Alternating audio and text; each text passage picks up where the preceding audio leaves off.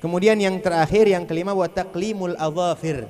Taqlimul adhafir artinya gunting ku gunting kuku nih kuku ilangin nih apa? Kuku nih gunting yang panjang digunting jangan pakai disisain. Itu makruh hukumnya. Ada tempat-tempat orang nyisain kuku.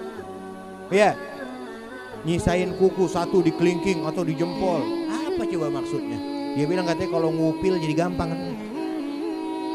Jangan makruh nggak boleh ya makruh dibenci ya makruh itu walaupun nggak dapat dosa tapi kurang ba kurang bagus Kau potong kuku setiap Senin, Kemis, sama Jum, Jumat.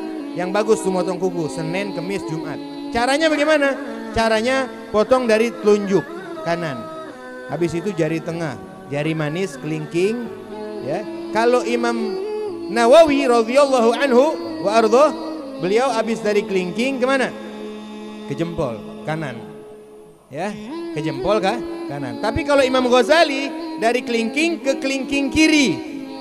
Habis itu jari manis kiri, jari tengah kiri, telunjuk kiri, jempol kiri, baru akhir jempol kanan itu Imam Ghazali. Kita mau ikut yang mana aja boleh. Kenapa tuh? Gak usah pakai nanya dah. Kenapa makanya mesti begitu? Mulai dari telunjuk, nggak usah pakai nanya, pokoknya kerjain aja. Ini kadang-kadang kita banyakkan nanya. Ya dikerjain kagak. Nabi bilang fa inna ahlakal ladzina min qablikum kathratu masailihim. Orang yang celaka sebelum kalian orang-orang Bani Israel karena banyak nah banyak nanya. Jadi kerjain aja udah insya Allah yang diajarkan sama ulama baik buat kita dah begitu.